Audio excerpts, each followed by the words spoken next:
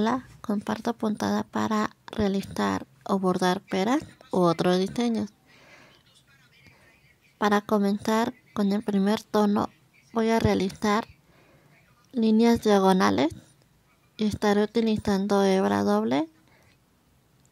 Voy a dejar medio centímetro de separación para realizar mi otra línea diagonal.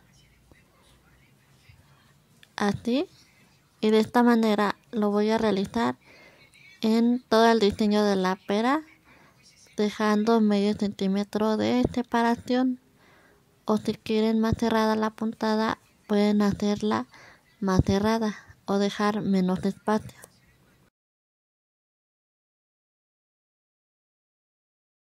Termino de realizarla y va a quedar de esta manera Ahora lo mismo haré, pero de manera contraria. Voy a realizar líneas diagonales, también dejando medio centímetro de separación. Yo hice esta puntada muy abierta, pero ustedes pueden ah, realizarla un poco más cerrada.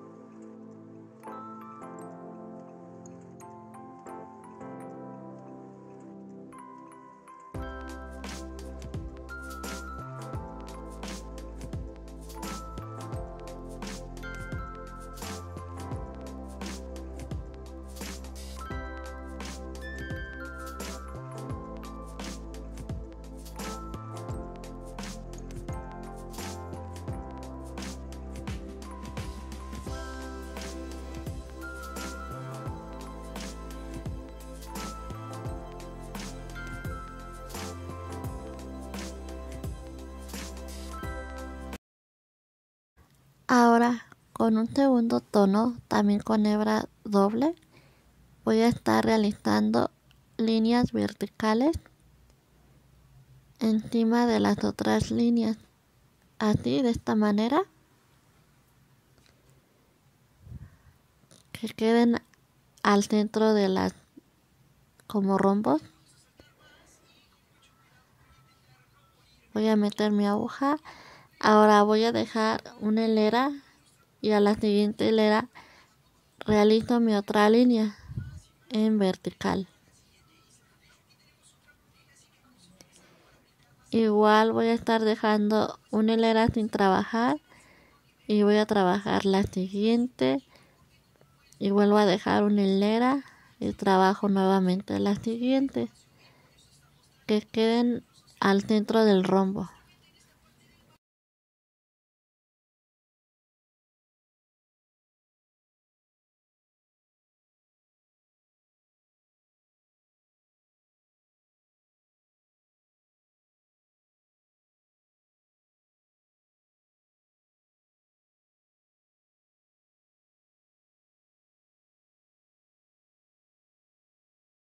Ya que la realicé en vertical, ahora las voy a realizar en horizontal, pasando sobre la línea y por el mismo lado donde quedó el hilo en medio de los rombos.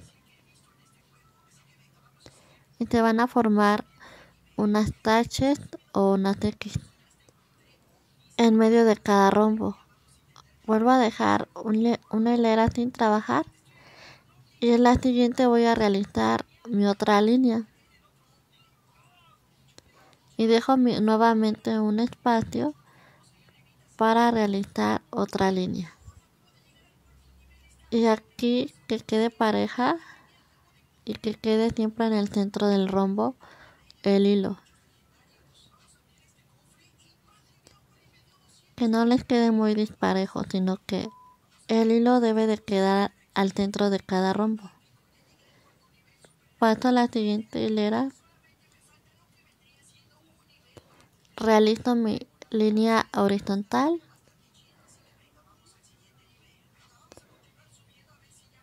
Dejo, dejo una hilera y nuevamente realizo mi línea en horizontal.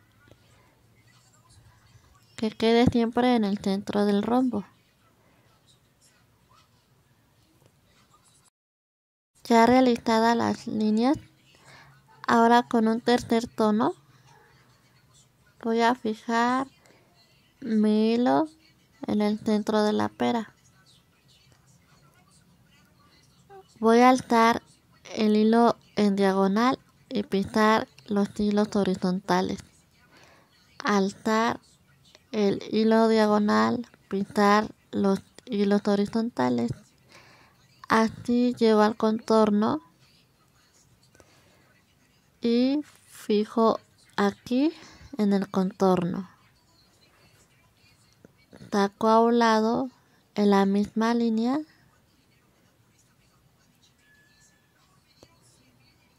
Taco mi aguja. Y voy a pasar nuevamente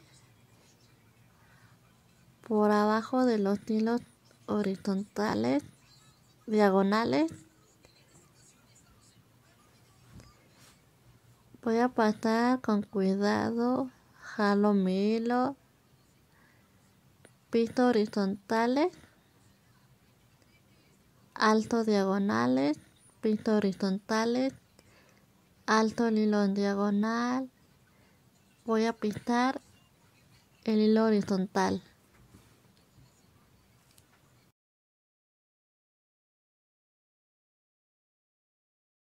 y así igual hasta llegar a la línea del contorno.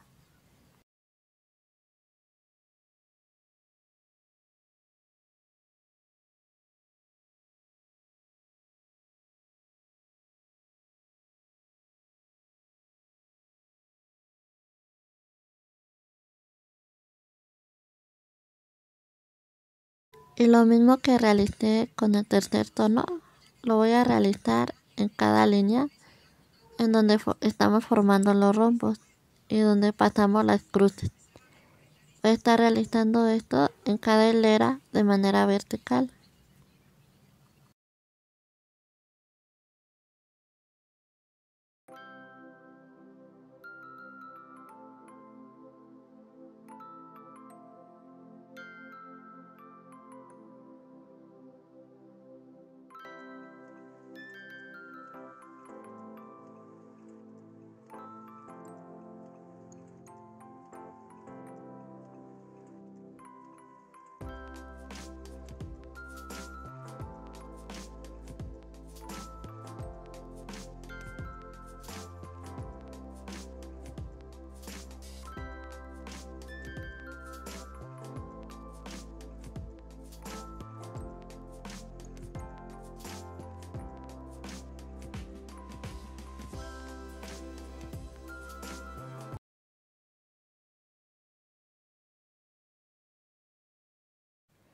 Ahora voy a trabajar lo mismo pero de manera horizontal pasando por el centro de los rombos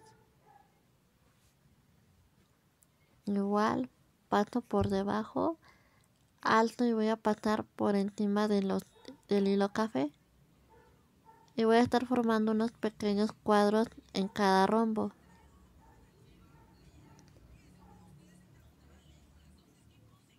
aquí paso la misma hilera. Volteo al diseño. Alto líneas diagonales piso horizontales. Alto diagonales piso horizontales. Y como ven se van a formar unos pequeños cuadros. Aquí llevo al contorno y fijo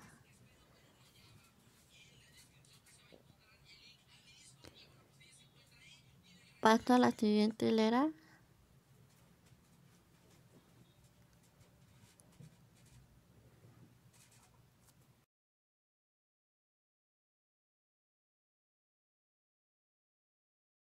Paso a la siguiente hilera y voy a realizar lo mismo.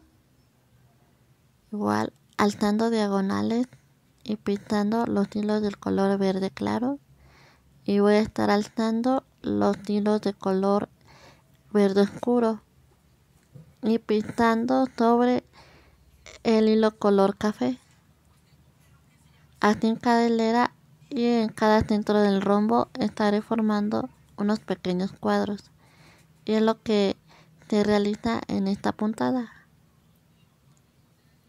Como les dije, la pueden hacer más cerrada para que no quede tanto hueco. Y así como se verá ya terminada la puntada. Aquí, aquí se ven los cuadritos que formamos. Y pues espero que esta puntada sea de utilidad para ustedes y les haya gustado. Ya saben, compartan y regálenme un like.